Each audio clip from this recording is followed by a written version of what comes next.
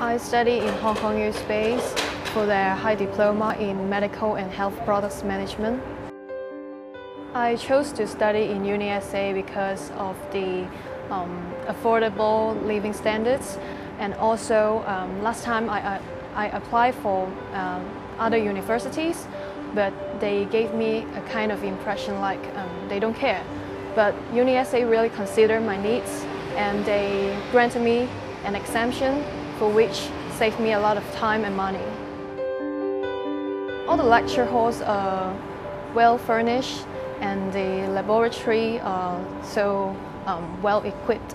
All the staff is very approachable and professional and they would offer help without hesitations. As a pharmacy student, you have to practice your counseling skills and last time I contacted the Learning and Teaching Unit and they um, provided us an um, counseling section for us to practice our counseling skills.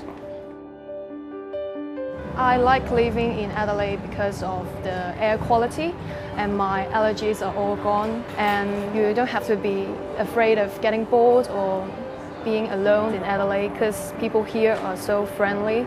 You can meet a lot of people with different cultural backgrounds. Currently, I'm living in the CBD. All the grocery shopping, all the dining and entertainments are very nearby. And it's very happening during the weekends. And most of the time there will be live music and festivals and you can always enjoy a drink and escape from your busy life for a bit.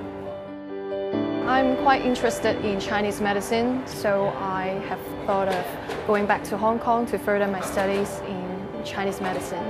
UniSA uh, helped me with building a solid foundation, so don't be afraid of stepping out of your comfort zone because it can bring you life-changing experiences.